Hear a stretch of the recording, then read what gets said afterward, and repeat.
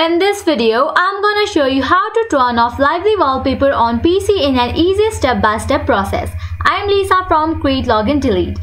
After watching this video, if your problem is solved, make sure to like the video for algorithm and consider subscribing if you're new.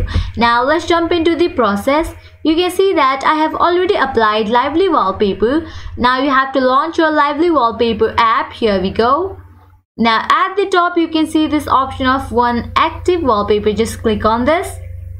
Over here you can see the wallpaper that is applied in your desktop. Now you have to click on this icon in this way.